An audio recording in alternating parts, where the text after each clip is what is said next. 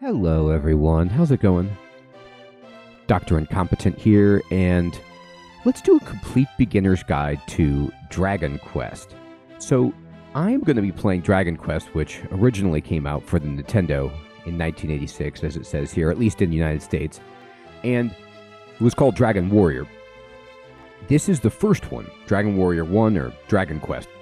And we're going to play it on the Nintendo Switch because for about 5 bucks they've released a update to the game that just improves uh, some quality of life issues with some better graphics. Now, I myself haven't really played this version hardly at all. I just booted it up to see if it would be worth doing a video on, but I wanted to do a complete beginner's guide to Dragon Quest. And I felt like this was the best way to do it. Now, if people want to see me play the original, um, I could totally do that as well. I have that too. But the nice thing about this version of the game that they have updated is that they have allowed you to quick save the game so you can save and close uh, without having to go back to the king and get into the imperial record or whatever, uh, which is great for just you know convenience and not in terms of like being able to stop playing the game when you want. So that's awesome. There's more story, a little bit, some more fun, tongue-in-cheek dialogue, and there's a tutorial system that explains some of the mechanics of the game better.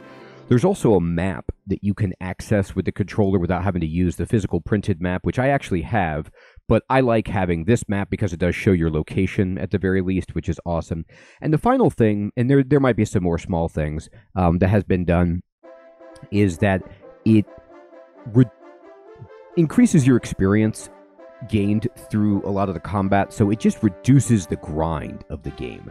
So you it doesn't take as long of just grinding because this is one of the grindiest the original is one of the grindiest games um, you know where you just there's nothing you can do skill wise you just have to get to a certain level uh, have enough gear to make it to the next area which requires you to fight enemies again and again and again. And if you're down with that, then play the original. But if you want it to be slightly sped up for you, uh, so that you don't have to spend the time of your life doing that as intensively, then try this. Also, of course, you get the updated graphics. Uh, you know, in the style that they do Dragon Quest now with the Dragon Ball Z artist and all that stuff. So, I think it's a great package where it's really like a love letter to the game if you played it in the 80s like I did. So you get that old school vibe but with some nice quality of life and slightly updated graphics. The graphics are more like Super Nintendo, you know, caliber. It's not like they they're blown out of the water. So let's check it out. So the first thing you do is you start a new adventure log. You pick your save file and you pick the name of your character. So this is not just the name of your save, but this is what name do you want your character to be? And we're going to go with, um, you know, Doctor do do do do do.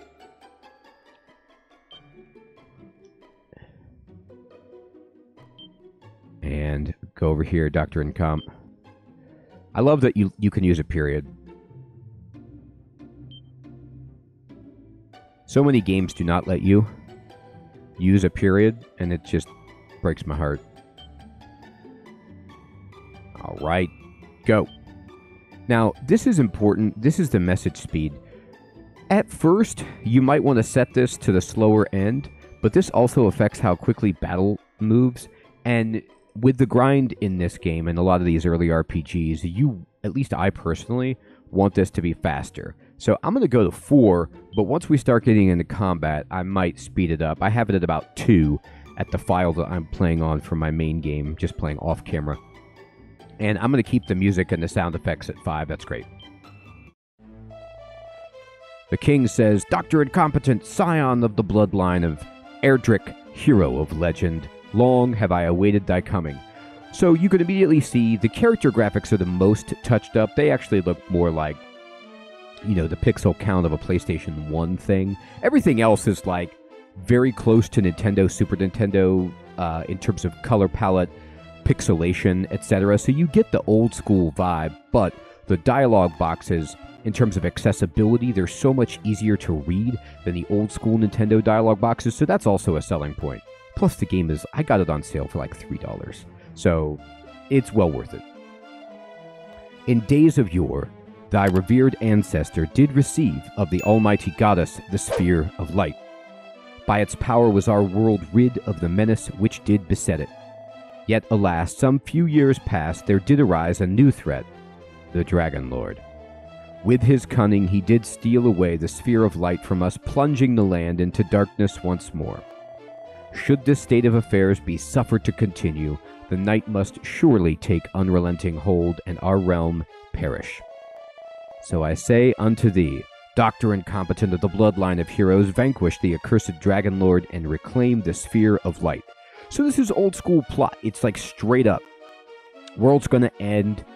You're from the hero's bloodline. You need to get something called the Sphere of Light to defeat someone named the Dragon Lord. I get it. In the chests o'er yonder wilt thou find items to aid thee on thy quest. Take what thou wilt with my blessing. Partake thee also of the wisdom of those loyal subjects gathered here in my throne room. Doubt not but that their knowledge will serve thee as well as any shield. May the goddess guide thee to victory and return thee unto us ere long, brave Doctor Incompetent. All right, great. So you can move around and you can use the analog stick or the directional pad, whichever you like. And you can open the chest with A. This is also, um, I was reading about this on Reddit, but the game has been updated a couple of times. I think there was a version released for the Game Boy Color, and then there's this version. There might have been a Super Nintendo remake as well thrown in there. Anyway, one of the other major things that they did was you used to, and this was notorious, they changed this with later Dragon Warriors, but you used to have to push A to open the box uh, of commands and then chest or stairs like would be on there to open a chest instead of just pushing A to interact with everything. So that's another tedious thing that they've wrinkled out. And we get 120 coins. This is these are not randomized by the way. So you get a torch and you get a key. All right. So we get these three items and we're ready to go. But as the king said, we should talk to everybody. Dost thou know aught of poor Princess Gwaelin. Uh, I don't. Princess Gwaelin is the sole heir of His Majesty the King. Since the untimely death of Her Majesty the Queen, Gwaelin hath been our beloved ruler's sole source of comfort. Alas, a half year prior to this day, foul monsters saw fit to tear the princess from the bosom of we, her people. His Majesty speaketh not of the tragedy, but 'tis plain the loss doth pain him deeply. Brave Doctor Incompetent, I beg of thee, deliver the princess from her plight. All right, so we got to rescue the princess. We can do that. What do these dudes say? If thou hast partaken of the contents of each and every chest, thou shalt by now have found a magic key. Use this key to open yonder door, and thou shalt lose it forever. Yet use it thou must, for beyond that door thine adventure begins in earnest. So don't ask why the door to the throne room is locked from the inside. A little creepy, but we got to use our key. Um, oops. Okay. Yeah, yeah. I don't really want to talk to you. I want to go here. By the way, a little thought bubble with an exclamation point will appear over the object or person that you're going to be targeting with your interaction, so you can use that. And yes, indeed, magic keys, you get them in this game and you use them and they're gone. And there's lots of locked doors that all take a magic key generally, and got to get more magic keys. That's all there is to it. If thou wouldest rest from thy quest a while, thou must request of the king that thy deeds be recorded in an adventure log. So you gotta, if you want to save your game proper, you gotta go up the steps. You gotta go talk to the king. The and let's do that right now just to save it. So we'll go back. We'll talk to the king here, and he says, "Come before me once more, while thou art ready to embark upon thy quest. I shall await thy return." Oh no, he won't let us save it right now. Try, try again. Oh, okay. Never mind. So, for some reason, you have to leave the town maybe before he'll let you save it. So what you can do with the king is he'll tell you how many experience points you need to reach the next level, and then he'll let you save it on save file 1, 2, or 3, and you can save it on whichever you like. But again, another thing that you have with this version is you can push A and open up this little sub menu, and it shows you in the upper left your options, in the upper right your gold, in the bottom right it shows you your name, your hit points H, your magic points M, and your level 1. And now if I go into miscellaneous, uh, I get to a place where I can equip different items. I can change the settings, like the message speed, uh, the music, stuff like that, uh, the sound level. Traveler's Tips is the tutorial. It's super useful. I recommend checking it out. And then here's the money quick save. So you could quick save the game. It says your adventure will be recorded in the quick save log, and any existing quick save data will be overwritten. Are you sure? And you say yes. And then it lets you like leave if you want to just quit or continue. I'm going to continue. So you can't abuse the quick save too much because you can only have one of them. So it I like that they make it a non-abusive like I'm using an emulator and doing state save kind of stuff. It's just an extra save you only have one copy of so you can close down the game and switch to another game or, you know, your Switch is running out of batteries or whatever it might be. It's great. Let's talk to these peeps. In days of yore, lo, the fair city of Tantegel, which is what we're in, was a veritable fairground wherein the merrymakers of the world did play. Sounds amazing. And yet now, we are beset on all sides by foul fiends, and the golden days are no more. Ah, sweet memory! It is, it is sweet memory. O princess, princess, where art thou? Could it be that the foul fiends who took thee have taken thy young life also? Well, we hope not. Nay, we cannot, we must not surrender to despair. Brave Doctor Incompetent, I prithee, forget all that I said. Henceforth, hope and hope alone shall guide me. Indeed. Get get your thoughts up into the rainbows. I ply the trade of the traveling merchant. Lo, countless of our brotherhood are fallen at the hands of roaming beasts of late. Full many of friends have I lost, sigh. Merely to speak of them bringeth tears to mine eyes. Ugh, it's a terrible time. Didst thou hear the rumors? I did not. They speak of a town laid to ruin by marauding monsters. Right. So the princess is captured. The dragon lord's coming to make eternal darkness. Monsters are roaming the lands. Merchants are dying. It's terrible. Sniff. Oh, princess, Princess Gwaelin. This guy is on the ground, just overcome with emotion. If thou questest in caves or dungeons, dank, a torch or two will serve thee well, friend. It is in the places where the darkness doth penetrate most deeply that the fiends do throng thickest. All right, fair enough. So you can search these pots, search all of them. Nothing here. Nothing here, but in the far left, got a free medicinal herb which we can use to heal ourselves. Great! What's this guy about? When dark doth spread across the land, light shall return by Erdrick's hand. That's my ancestor! O Almighty Goddess, we pray that the ancient teachings hold true. May thy light shine upon brave Dr. Incompetent's quest. I hope so. All right, so you can continue exploring the town, talk to people, get a real feel for it. Uh, what do you say, buddy? The first priority must ever to be to hone thy skills by battling beasts. As thou gainest in experience, thy level shall increase, and so too shall thy might. And that's it. That's why you talk to these people because they've got bang up clues like that one, which is basically, hey, you know, you need to uh, go outside and grind monsters to get enough money to level up. Uh, money to buy gear, experience to level up, I should say. And that is true. Never more true than in a game like this.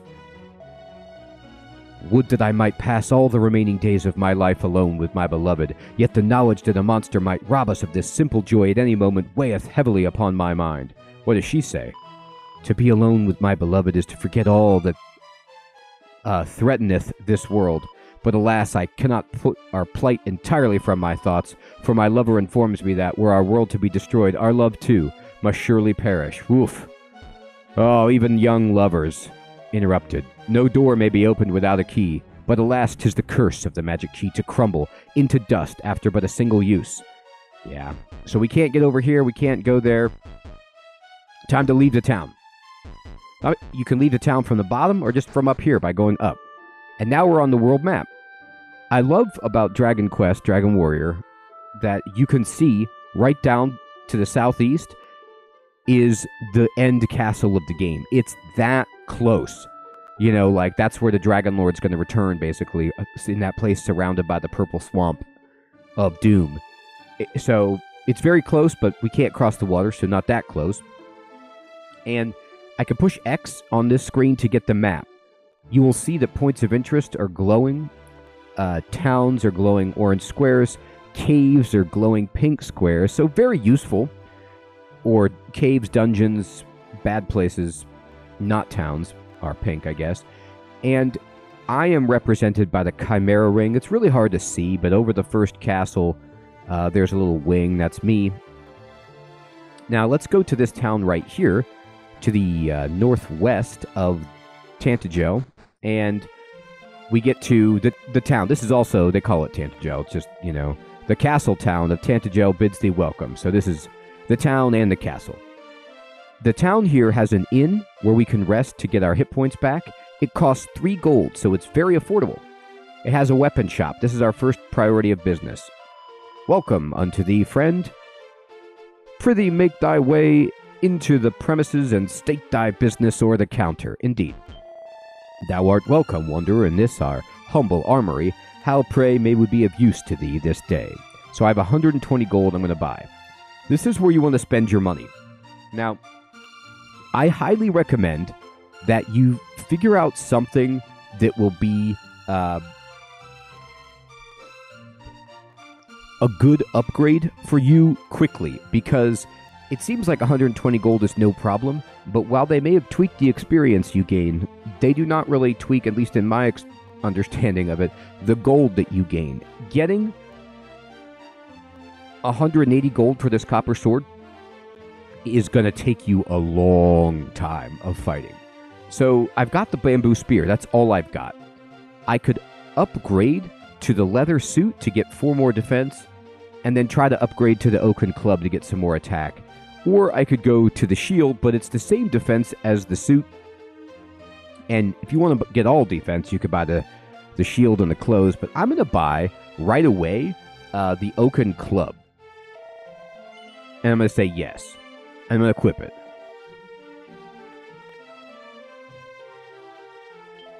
Okay, and then I'm going to sell my bamboo spear. And he's going to give us five coins. You'd never need that again. And I'm just going to push B to close. So now I have 65 gold. And I'm going to go try to earn five gold to buy myself the leather suit to get some defense. I want more attack so I could kill enemies faster, and I want more defense because this game is difficult at first level. So right now, we're the lowest of the low. The tutorials explain what your stats do, but if I check my status, which I get to by pushing A and going to status, you can see I'm level 1. I have equipped an Oaken Club, and that's it. My strength, agility, resilience, hit points, MP, attack, and defense are all listed there. And it's worth noting, basically, strength governs your damage, but so does the attack power of your weapon. So it's like you aggregate your weapon and your strength to get a reflection of how much damage you will do, and you aggregate your resilience and your armor to get defense, which tells you how much incoming damage you're going to mitigate. You start with no magic points, you start with no spells, and you can use items from this screen by going to items and using your herb, and it tells you it's going to restore 20 to 35 hit points. I have 15, so I don't really need it right now. It's a one time use. Same thing for the torch. I'm not in a dungeon, I don't need that. I'm going to walk around town, and I'm going to walk just right around the starting town. I'm not going to go too far because I don't want to get into a fight that we can't handle. All right. So, in the starting area, mostly what you're going to get are she slimes, which are this kind of orangish color, or regular slimes, which are blue. And either of those are fine. I'll attack. Boom. We did three points of damage. It's dead. Victory. And we get two experience points and four gold. Great. So you can wander further away if you want. You can go further north or follow the map and see what's available. But Dragon Quest does an amazing job of fencing you in to areas that uh, are appropriate for you. And you'll know immediately when you go too far because the enemies will become incredibly difficult. Now, bam. I'm doing good damage. I upgraded my weapon. We did get hit right there, but only for one. And that's fine. We got four gold coins. I'm going to go in, uh, look at the map. You can see where I'm at, kind of to the uh, just south by southwest of the opening town. And if I go down here, it's all blocked by mountains. I actually can't go any further. This is as far as I can go in this area. So I have to kind of go north because, as you can see over here, if I want to try to go to the east, I'm blocked by the waters and this mountain range. So I'm going to attack the she slime and kill it really quickly. You want a good weapon so you kill these slimes in one turn, which is what I like. And then good armor will come. Actually, good armor right now. We already have 77 gold. So I'm going to go into the town and I'm going to quickly buy the leather suit. All right. And I'm going to equip it, yes. And leave. We don't have any armor to even sell him back that we've replaced. By the way, I really didn't explore the rest of the town because I wanted to get out and show you combat, but there's plenty more people to talk to. And right down in here, there is an item shop where you can buy um, medicinal herbs, torches, and dragon scales. And uh, I, at this point, would only really want to be buying herbs and and uh, torches, but I'm okay with the one torch and herb that I have. I'm not super super reliant on that. There's lots of other characters that you can speak with to get some more info here. This is the guy you want to come talk to if you ever get cursed. Come talk to him. And I'm going to go out into the business of leveling up, but I am going to go to MISC and I'm going to go to settings and I'm going to adjust the message speed to about two. This isn't good if you're in town and you're talking to people, maybe, but in battle, watch what, what the difference is. I found one to be too fast myself. I'm going to go up here in this forest area and just see if I can fight. You'll notice that the background for the battle that you're in will change based on what kind of a tile you're on in the overworld. So if you're in the grasslands, it's different than if you're in the forest. Uh, you get this cool forest background. This is a regular slime. I'm going to attack, and you see that all of the text about us defeating it and everything just disappear quickly. But we got enough experience to, you hear this special music. We've leveled up. We got level two. Our strength went up by two, hit points by six, and we got two more coins. So now we're doing even more damage when we attack. And I think at level two, I feel good enough, I should say, to go up.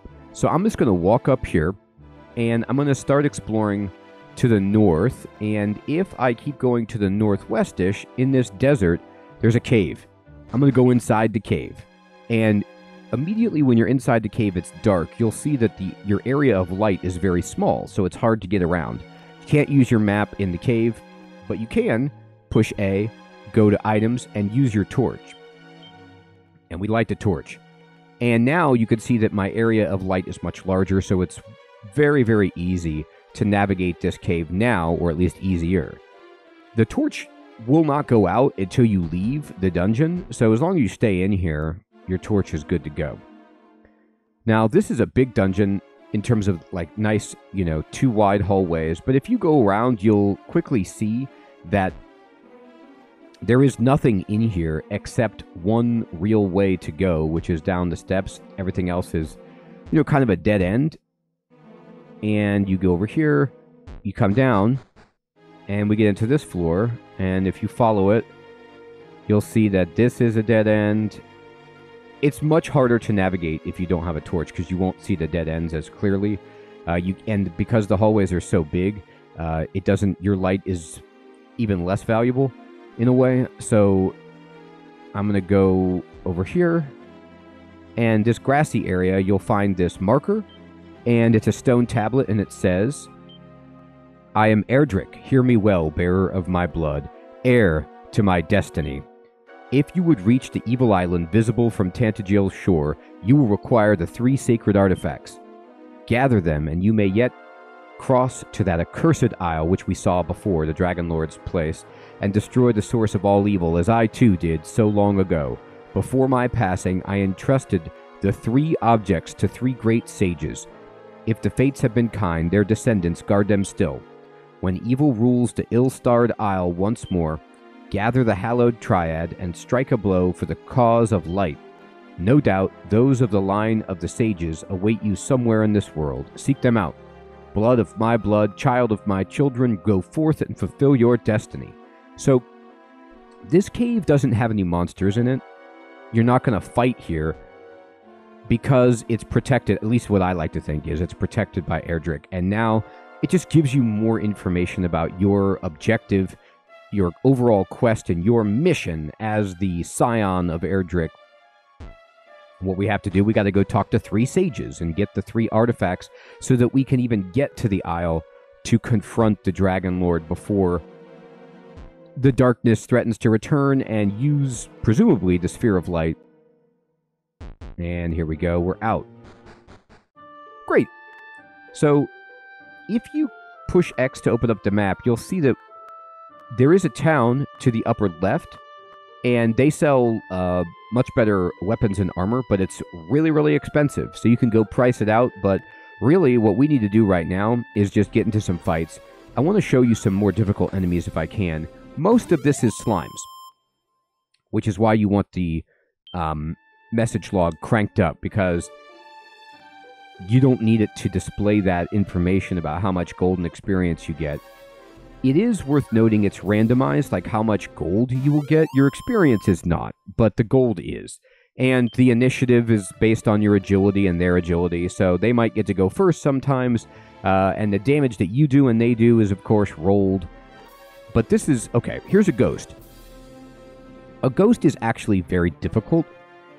It doesn't have that many hit points, so if you can hit it and kill it quickly, then you're okay but it's nimble, it can evade, and it hits for a lot. So I'll try to attack it and see how it dodged, and then it hit us for four.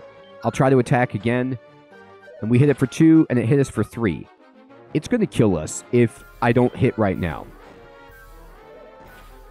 Okay, so this is your opportunity. We didn't kill it. One more shot will kill it. Or if we miss, we probably we, we have an opportunity to die right here. The ghost, I want to show you this because it's really challenging. The ghost is a difficult enemy. Even right here at this point in the game, with what we have, this is hard. Now, I could use, of course, my medicinal herb, but it's too expensive. Um, and I'm going to go for broke. I'm going to attack, and it actually attacked us first and took us down to one. How about that? But we survived. And we get four experience and eight gold, which is great. But now we have, you know, one hit point. So I could use my herb, but I'm just going to run back to town. And once I get back closer to town, uh-oh. I was going to say the enemies get easier, easier, but I was so far away that I found a Drakey. So a Drakey is not that hard, but at one hit point it's terrifying, so we need to run. You either run or that happens. So you do not get to run 100% of the time. And if that happens, like they block your path and they attack and you're at one, it's over. So what happens when you die? Well, when you die, you appear before the king and the king is like, But what is this, brave Doctor Incompetent? Defeat doth ill become thee. That thy recklessness vexeth me, I shall not deny, but there is naught for it, thou must be set upon thy path anew. Yet swear to me that then, when next thou suffereth, thou wilt straightways to the nearest town and seek out an inn to get our hit points back. I pray most fervently that thou wilt not require such aid of me again in the future. Earn another nine experience, and thou shalt attain a new level. Uh, and let's save the game. Now he's going to let us save it. Uh, so we'll say yes, and we'll save it uh, right here. And we're going to continue. So what happens when you die? You appear at the king, but you also lose half your gold. So that's an incredibly punishing effect. And losing half of our gold is brutal. About the cost, actually, of using the medicinal herb. So I was very cavalier in not using my herb to heal myself. And when we get third level, we actually get a healing spell to make that even more manageable. But uh, I wanted to show you death because it's going to happen where you miss a few times or the enemy gets a critical hit or whatever it is and you can't run and you just die. And luckily in this game, it doesn't take you back to your previous save. It takes you in front of the king. So you want to save to preserve your money, but it's not the complete end of the world, especially if you've just, you know, spent all your money. Then you're like, well, okay, but no big deal. You don't lose experience, you just lose money. So what you want to do, that's why you don't want to be far away from the town. You want to be close to town so that, like, if you're out of healing items and tragedy strikes, you can get back to the inn quickly. Remember, it only takes three gold for the inn. That being said, close to the town are only usually slimes, and you know, you need to balance your risk reward. Like, you don't want to sit here fighting slimes. You can, it's like the safest way possible to level, but at the same time, they're giving you one experience, you know, and they're giving you like, uh, what, two gold sometimes? One experience, two gold, right. So it's not that compelling. If you instead, let's try to fight a Drakey again. Something like that. Or a She Slime. Okay, killed her in one shot and uh, get two experience and four cold. So she's just double the blue slime and just at almost basically as easy. So we, we at least, at the very least, we want her. I'm going to go hunting right by this cave. Keep close to the town if I can. I'd like to get a Drakey. I didn't, but we're really, really close to level 3, and we can just blast her away in, you know, one battle. But you'll notice if I'm getting 4 or 2 gold a time, or 8 if I'm lucky on a ghost and can survive, although the ghost really isn't worth my while at the moment, you see how long, ooh, we got a critical hit, it's going to take for us to buy a copper sword or, you know, a shield or something. So this that's where the grind is absolutely real.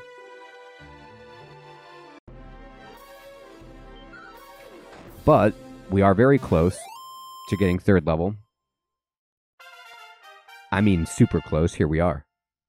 And at third level, we get two strength, two agility, one resilience, two hit points, four MP, and we learn the heal spell and two coins. Now, I'm not entirely sure if the stats you get when you level up are fixed or are random.